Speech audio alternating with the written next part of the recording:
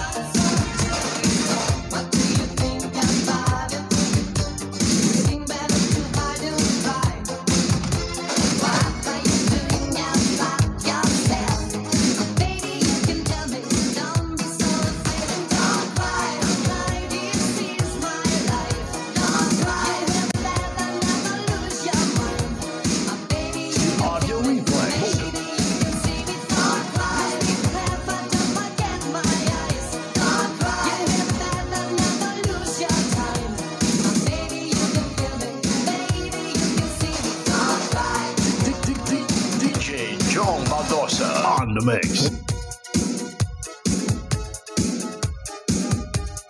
DJ John Baldosa on the mix.